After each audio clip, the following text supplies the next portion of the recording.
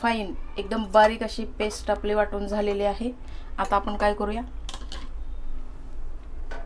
नारळाच्या चटणीमध्ये ओतूया. टाकूया.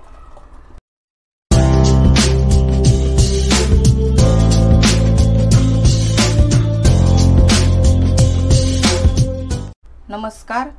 नेहूज फूड मराठीमध्ये मी स्नेहल तुमचे मनापासून स्वागत करते. चला आज आपण बनवूया नारळाची चटणी.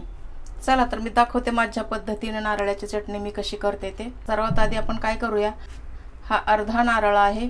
अर्ध्या नारळासाठी लागणारं साहित्य म्हणजे हे दोन चमचे शेंगदाणे दोन चमचे डाळे चार हिरवी मिरची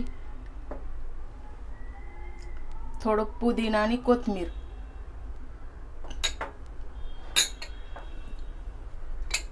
बस एवढंच साहित्याची आपल्याला गरज आहे. सर्वात आधी आपण काय करूया? हा नारळ किसणीने किसून घेऊया. कापून केला तरी पण चालतं पण का कापल्यानंतर आपल्याला पटकन बारीक होत नाही. त्यामुळे आपण काय करूया? आणि मिक्सरचं भांडं पण खराब होण्याची शक्यता असते. जर तुम्ही हे जे बारीक बारीक पीसेस कापून जर मिक्सरमध्ये टाकले तर मिक्सरचं भांडं आपलं खराब होण्याची शक्यता असते. आणि दुसरी गोष्ट अशी की आपलं ग्राइंडर बरोबर चालत नाही. त्यामुळे आपण काय करूया? सुरुवात सर्वात अगोदर आपण याला किसणीनं किसून नंतर मिक्सरमध्ये टाकूया. चला तुम्हाला एक मी नारळासाठी टिप्स देते. तुम्हाला जर वाटत असेल की आपला नारळ फोडल्यानंतर असा अर्धा भाग सेपरेट व्हावा हो, याचे तुकडे तुकडे होऊ नये तर आपण काय करायचं? हा नारळ जर आपल्याला उद्या फोडायचा असेल तर आपण एक रात्रभर ह्याला फ्रीजमध्ये ठेवायचा. आणि फ्रीजमध्ये ठेवल्याच्या नंतर ह्याला एकाच बाजूने नाही चारही बाजूने ह्याला फोडण्याचा प्रयत्न करायचा. फ्रीजमध्ये ठेवल्यानं काय होतं? की हे पटकन असं होतं. आता आपण काय करूया? ह्याला ह्या जाड्या साईजनं खिसून घेऊया. ही छोटी साईज खूप छोटी होईल.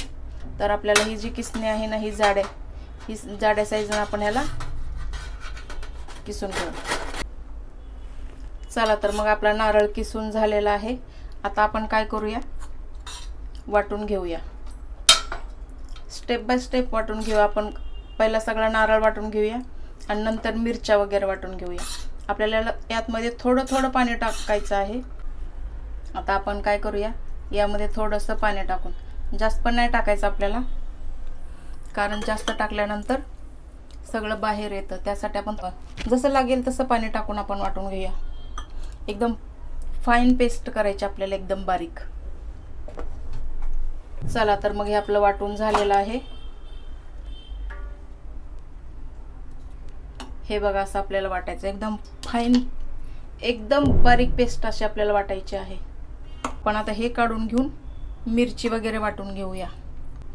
आपण सर्वात आधी टाकूया शेंगदाणे दोन चमचे दोन चमचे डाळे. शेंगदाणे डाळे आपल्याला यासाठी टाकायचे की आपली चटणी एकदम पाणी पाणी नाही होणार. त्यानंतर टाकूया मिरची. मिरची कधीही तोडून टाका. अख्खी टाकल्यानंतर अटकू शकते. मी कोथमीर पण शक्यतो कापून टाका किंवा तोडून टाका. आणि पुदिना आवश्यक आहे. पुदिना अति आवश्यक आहे. पुदिना पुदिना टाकायला विसरू नका असेल तर नसेल तर काही हरकत नाही. आता आपण टाकूया. टेस्टप्रमाणे मीठ आणि मीठचा वापर कधीही करताना जर तुमचा हात ओला असेल तर तुम्ही हात मिठामध्ये टाकू नका.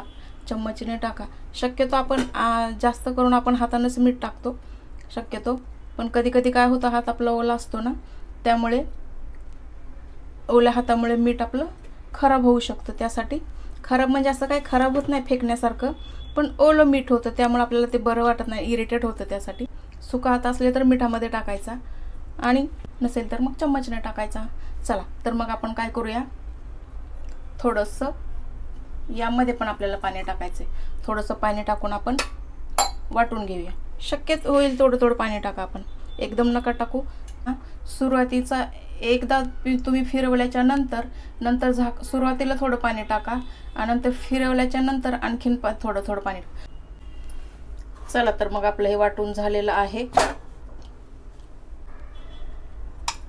आता ही चटणी तुम्हाला किती पातळ करायची किंवा घट्ट राहू द्यायची हे तुमच्यावर अवलंबून आहे. तुम्ही कशी खाता त्यावर अवलंबून आहे. आता आपण हे झालेलं आहे. आपण आता टेस्ट प्रमाणे मीठ टाकून चेक करून मीठ टाकायचं आपल्याला.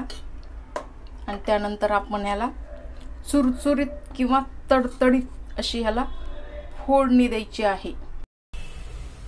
चला आपण ह्याला एक छान तडतडीत फोडणी देऊया. गरम करून मी दोन चमचे तेल टाकलं आहे. गरम झाल्याच्यानंतर पाव चमचा मोहरी. पाव चमचा जिरे पाव चमचा मेथी दाणा आवश्यक खूप आवश्यक आहे मेथी दाणा मेथी दाणा टाका. मेथी दाण्याने चटणीला वेगळी टेस्ट येते. आता आपण टाकूया हिंग पाव चमचा.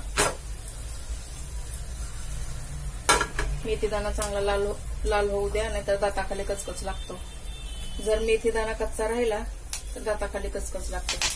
आता आपला खूप सारा पोळी कढीपत्ता